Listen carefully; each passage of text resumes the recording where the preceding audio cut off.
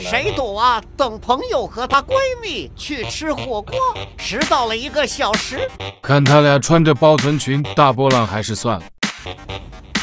Hello Hello，我们没来晚吧？没有没有没有没有，那咱走吧。好。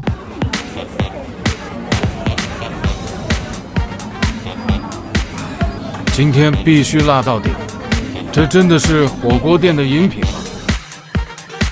这一大桌也太满足了。